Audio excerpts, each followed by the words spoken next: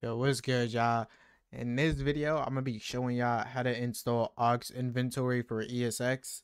Um, this is probably one of the most used inventories that's free. Um, in my opinion, it's the best free inventory out there currently. So, yeah, let me just uh, explain this to y'all. So the first thing you want to do, uh, I'm gonna put the link in the description. You're just gonna want to head over to Ox inventory download on GitHub. It's gonna be by Overextended you want to download the zip file. Make sure you don't get the source code. Just get the ox underscore inventory um, zip. You want to go ahead and download it. I already downloaded it, so I'm not going to do it again. But once you finish downloading it, what I want to do is go to where you downloaded it. So for me, it's going to be in my uh, downloads folder. So I want to go ahead and double click it to open it.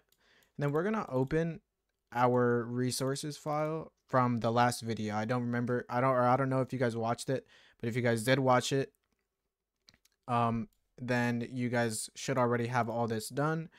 Um, just going to head over to the your resources folder, and you can make a new folder, which I I like to do this personally for anything Ox related, or realistically any other scripts I'm adding on top of um the ESX base. So first thing you're gonna want to do is put a bracket um, I only do this for the inventory though. I put it the inventory in its own thing.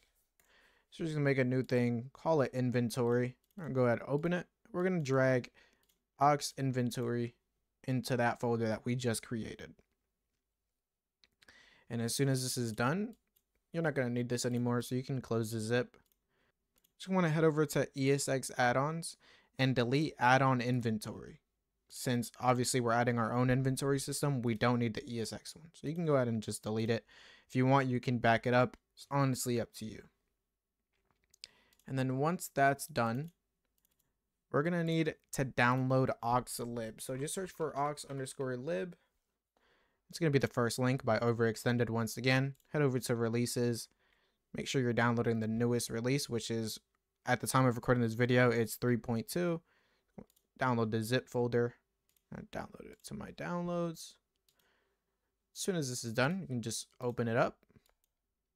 Then you're going to, I like making a new folder. So since a lot of scripts are going to rely on ox inventory, I make a dependency folder. So dependencies and another bracket. And then I just drag oxlib or anything or if a script is going to rely on a different script, for example, ox inventory relies on ox lib to work, I just put everything in inside of dependencies. So it's, it's realistically just a drag and drop. And then same thing for the inventory. It's just a drag and drop. You don't need to run anything. Everything should just work right off the bat. Now, we're going to need to tell the server to start these scripts.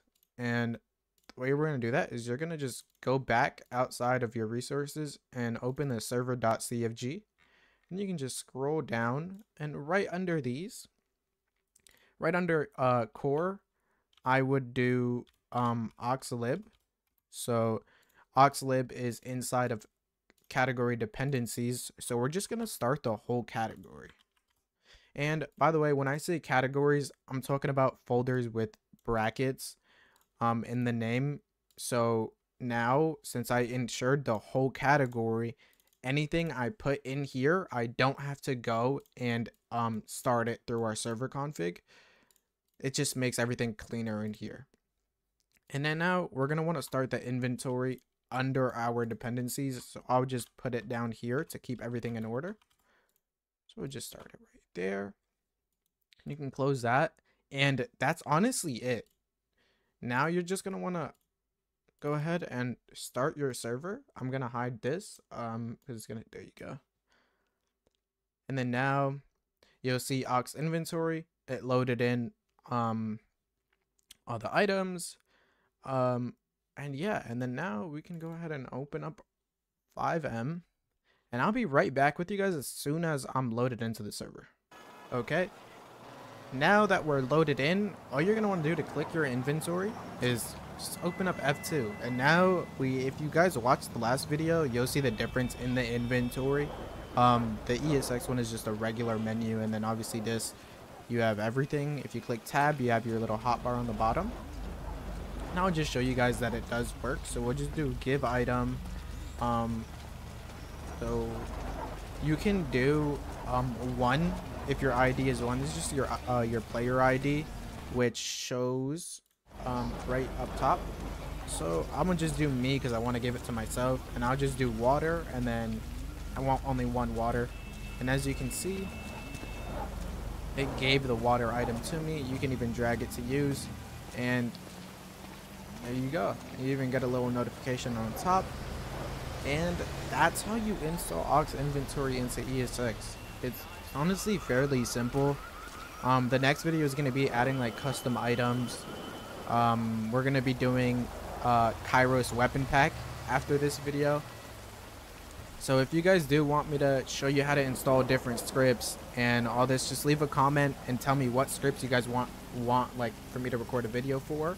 And, uh, and I'll try my best to get that video done for you guys. But that's honestly it for this video.